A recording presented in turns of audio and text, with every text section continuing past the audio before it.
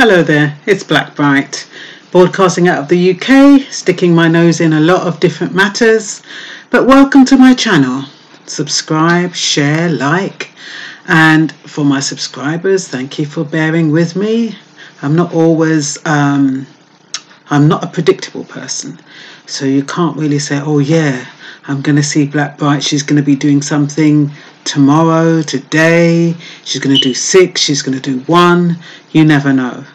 I am a person who acts on not necessarily impulse, but I go with my spirit.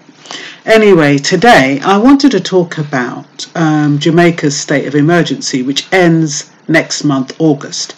August starts tomorrow. Today is the 30, no, starts Wednesday, because today is the 30th of July. I'm doing this video and the state of emergency is ending next month. It had been delayed. It was supposed to stop in May, but of course, so many shootings, it's been extended. Uh, between January and April, there was 460, 406 killings.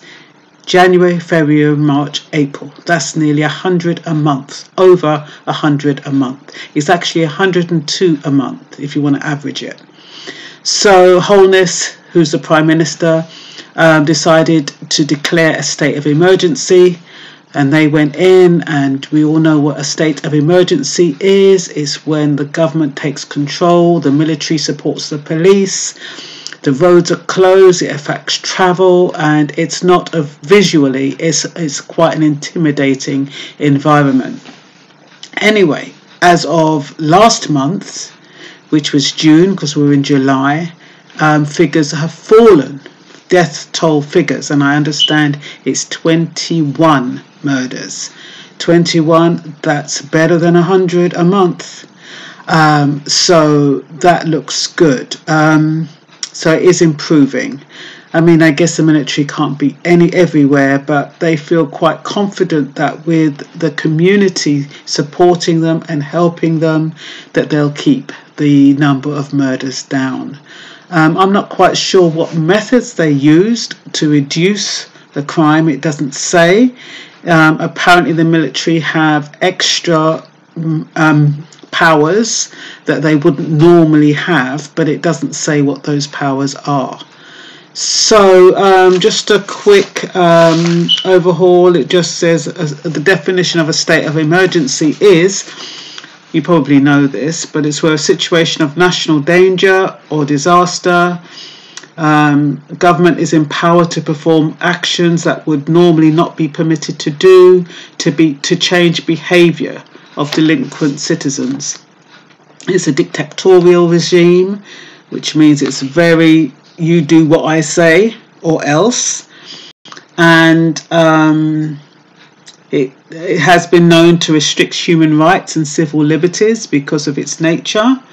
Um, there's been roads closures, um, but you know, interesting, interestingly enough, since January um, to May, 1.7 million visitors to Jamaica. So it's not affecting tourism, and um, as we know in Jamaica, tourists are really protected. I mean, the odd one must, you know, odd one might get, you know, there might be a problem with the odd one, but by and large, very, very rare you hear anything happening to tourists. So 1.7 million have visitors between January and May, which is quite an incredible number for such a small island.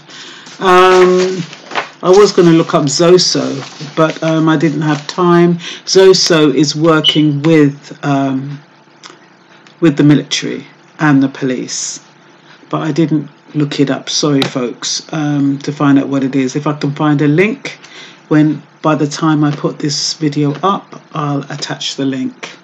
Um, there's been 27 shootings by police. Um, but yeah, it's it's gone down the figures, so I'm quite happy about that. Um, it's sad that it takes a state of emergency to reduce the killings, but whatever it takes. Andrew Holness is keen on making Jamaica a beautiful island for people to live, not only visitors but the civilians as well. Um, the state of emergency was extended to St Andrew, um, South Division. Uh, 21 people murdered in June. I've already said that. It appears when it said that it's down from 20, it was an improvement of 20, it gave the impression to me that there was only one murder in July, which would be fantastic if that's the case. So, but don't quote me on that, I'm not sure. Um, Dr. Chang, who's the National Security Officer, visited key social intervention sites and engaged with community stakeholders on issues related to targeted youth violence prevention, the creation of safe community spaces, and opportunities for community development. Residents appreciate the presence of, you know, the presence of the military. They feel much safer, and there's better street lighting, and all in all, it seems to have worked quite well. So I just thought I'd do a quick one here. I've been doing long ones again. I don't I don't know where the time goes when I'm chatting. Anyway, I'm not going to let the, I'm not going to stretch this one out. So that's all for now. And thanks for listening. Bye bye.